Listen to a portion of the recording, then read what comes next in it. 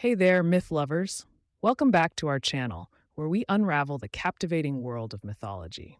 Today, we're diving into a myth that explores the eternal struggles and the concept of existentialism, the myth of Sisyphus. So get ready to roll that boulder along with us. The myth of Sisyphus originates from Greek mythology and revolves around a cunning and deceitful king named Sisyphus. Known for his intelligence and sly ways, this character has become a symbol of human struggles and the eternal search for meaning in life. According to the legend, Sisyphus dared to challenge the gods themselves. He committed several grave offenses, which led to his ultimate punishment.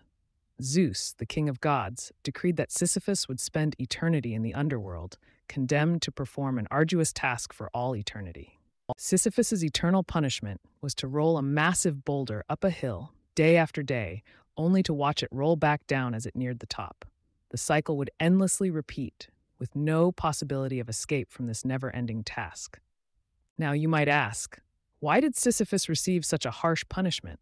Well, it's believed that his cunning and deceitful nature crossed boundaries that even the gods couldn't tolerate.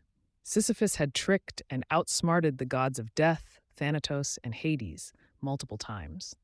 By eluding death, Sisyphus disrupted the natural order of life and death, causing great inconvenience for mortals and gods alike. Yet, despite his arrogance and cunning, Sisyphus's eternal punishment tells us a profound story about the human condition. We can interpret this myth as a reflection of our own struggles in life, the repetitive and seemingly meaningless tasks we face every day. Like Sisyphus, who tirelessly rolled the boulder up the hill only to witness it fall back down, we often find ourselves grappling with our own uphill battles.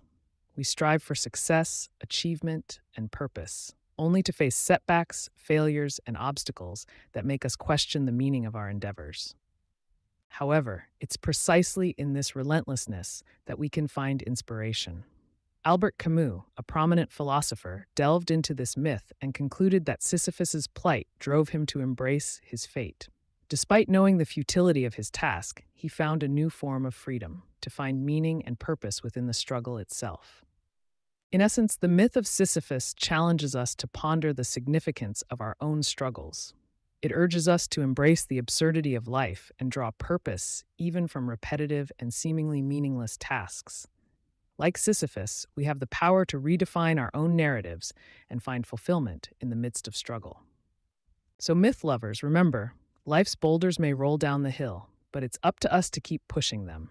Embrace the journey, find solace in the struggle, and create a life of significance.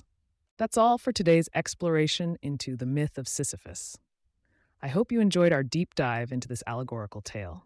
Don't forget to like, subscribe, and hit that notification bell to stay updated on our mythological adventures. Until next time, keep unearthing the wonders of mythology. Stay curious, stay mythic.